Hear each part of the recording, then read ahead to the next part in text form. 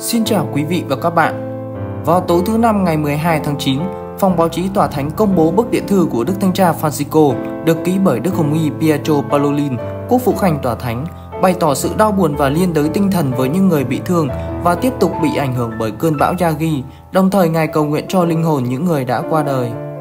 Trong điện thư, Đức Thanh tra Francisco hết sức đau buồn trước tin về cơn bão Yagi đã gây nên nhiều thiệt hại về nhân mạng và sự tàn phá trên diện rộng tại Việt Nam.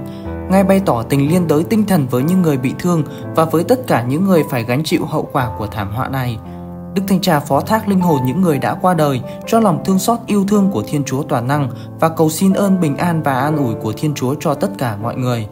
đặc biệt cho các nhà lãnh đạo chính quyền dân sự và cho các nhân viên cứu trợ. Đức Thanh tra Francisco đau buồn sâu sắc khi được thông báo về cơn bão và lũ lụt gần đây tại Việt Nam đã gây ra nhiều thiệt hại về nhân mạng và sự tàn phá trên diện rộng. Và Ngài cũng bày tỏ sự liên đới tinh thần với những người bị thương và tất cả những người đang phải gánh chịu những hậu quả tiếp diễn của thảm họa này. Đức Thanh Trà phó thác linh hồn những người đã qua đời cho lòng thương xót của Thiên Chúa Toàn Năng và cầu xin Thiên Chúa ban phúc lành cho tất cả mọi người,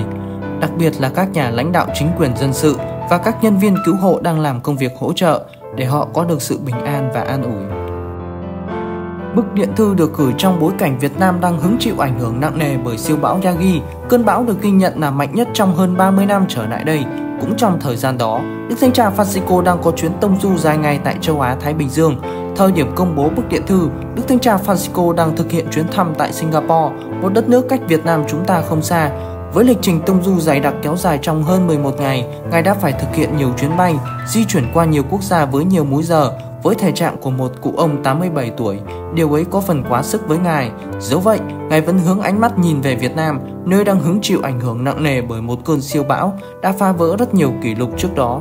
Theo đánh giá mới nhất của chính quyền địa phương, bão Yagi đã làm sập cầu, tàn phá các tòa nhà, phá hủy ít nhất 250.000 hecta hoa màu và khiến ít nhất 226 người chết và 104 người mất tích. Tại thủ đô Hà Nội, hơn 15.000 người phải sơ tán do lũ sông Hồng.